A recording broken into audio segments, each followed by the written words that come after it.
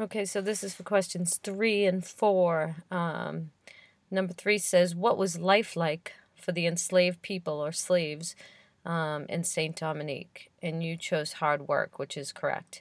Um, it said, Choose all that apply. So you look to see, is there another one that applies?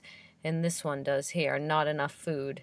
And that's mentioned over here where it says most slaves were underfed, undernourished, and overworked. And also on the first slide here, it says um, some owners did not provide their slaves with enough food. And then question number four why did slaves dance and practice voodoo even though it was forbidden and they could be violently punished if they were caught? And you said, because there do not lie to be slave, so they, I would think they are try to kill them.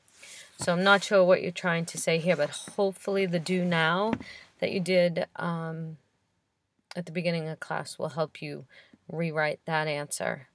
Um, so enter those two questions again.